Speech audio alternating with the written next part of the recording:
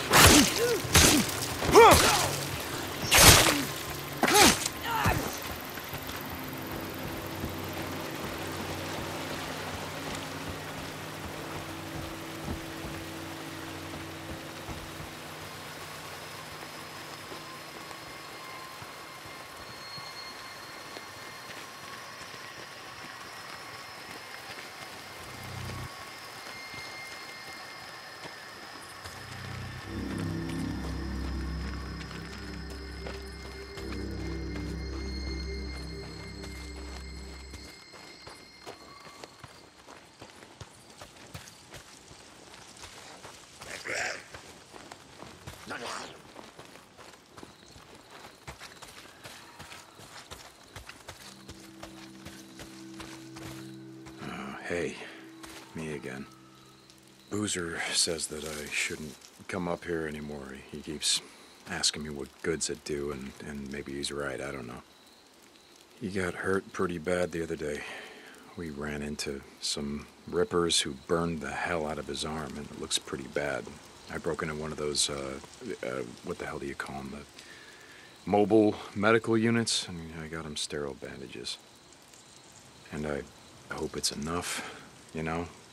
But Boozer, you know, he says he's fine, but I, I don't I don't think so. Shit looks pretty bad to me. See, the thing is, it was on me. I risked his life for a bike part. Goddamn bike part. Not that it mattered. Son of a bitch Copeland parted it out anyway. Took me a year to put that bike together. You would have liked it. It's not as nice as the one that I taught you to ride on, but it got me around. You remember that tank that you had painted for me? Well, that was the only thing left of that old hog, and now it's gone too. As soon as we get it back together, I, my bike, I mean, and get Boozer patched up, we're gonna ride north. Fresh start. You know, a lot of memories around here. Too many. Anyway, guess I'm just saying that, uh, I might not see you again. You know?